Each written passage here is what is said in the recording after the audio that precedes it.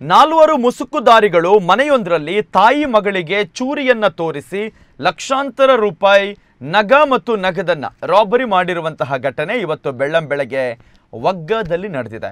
ವಗ್ಗ ಸಮೀಪದ ಅಂಚಿಕಟ್ಟೆ ಸಾಲುಮರ ತಿಮ್ಮಕ್ಕನ ಟ್ರೀ ಪಾರ್ಕಿನ ಮುಂಭಾಗದಲ್ಲಿರುವ ಫ್ಲೋರಿನ್ ಪಿಂಟೋ ಅವರ ಹೊಸ ಮನೆಯಿಂದ ರಾಬರಿ ನಡೆದಿದೆ.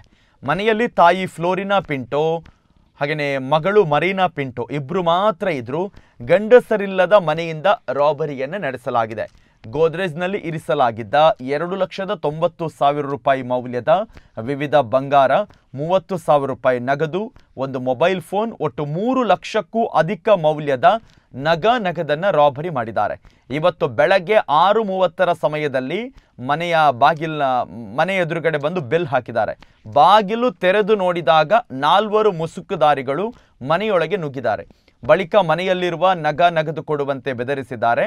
ಇನ್ನು ಬೆದರಿಕೆಗೆ ಬಗ್ಗದಾಗ ನಾಲ್ವರು ಕೂಡ ಕೈಯಲ್ಲಿದ್ದಂತಹ ಚಾಕನ್ನು ತೋರಿಸಿ ಕೊಲ್ಲುವಂತಹ ಬೆದರಿಕೆ ಹಾಕಿದ್ದಾರೆ. ಆನಂತರ ಗೋದ್ರೇಜ್ನ ಬೀಗದ ಕೀಯನ್ನ ಪಡ್ಕೊಂಡಿದ್ದಾರೆ. ಬಂಗಾರವನ್ನ ದೋಚುವ ವೇಳೆ ಅಡ್ಡ ಬಂದ ಮಗಳು ಮರೀನಾ ಪಿಂಟೋ ಅವರ ಕೈಗೆ ಗಾಯವಾಗಿದೆ. ಏನು ಇವರ ಅಣ್ಣ ಮಾಧ್ಯಮದವರಿಗೆ ಮಾಹಿತಿಯನ್ನು ಕೊಟ್ಟಿದ್ದಾರೆ. ಕಳೆದ ಎರಡು ದಿನಗಳ ಹಿಂದೆ ಇಲ್ಲಿನ ಅಂಗಡಿಯಿಂದ ಜ್ಯೂಸ್ ಮೆಷಿನ್ ಒಂದನ್ನು ಕಳವು ಮಾಡಲಾಗಿತ್ತು ಎನ್ನುವ ಮಾಹಿತಿ ಕೂಡ ಲಭ್ಯವಾಗ್ತಾ ಇದೆ. ಸ್ಥಳಕ್ಕೆ ಜಿಲ್ಲಾ ಪೊಲೀಸ್ ವರಿಷ್ಠಾಧಿಕಾರಿ ರಿಷ್ಯಂತ್ ಗ್ರಾಮಾಂತರ police inspector Shivakumar SI Harish ಭೇಟಿಯನ್ನು ಕೊಟ್ಟಿದ್ದಾರೆ. ಶ್ವಾನದಳ ಬೆರಳಚ್ಚು ತಜ್ಞರು ಆಗಮಿಸಿ ಪರಿಶೀಲನೆಯನ್ನು ಕೂಡ ನಡೆಸಿದ್ದಾರೆ. ಈ ರಾತ್ರಿ ಹನ್ನೆರಡು ಗಂಟೆ, ಎರಡು ಗಂಟೆ, ಮೂರು ಗಂಟೆ ಜಾವಕ್ಕೆಲ್ಲ ಕಳ್ಳರು ಬರೋದೆಲ್ಲ ನಾವು ನೋಡಿದ್ದೇವೆ.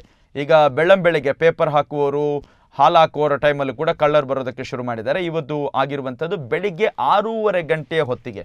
ಮನೆಗೆ ಬಂದು ಮನೆದು ಬೆಲ್ ರಿಂಗ್ ಮಾಡಿದ್ದಾರೆ.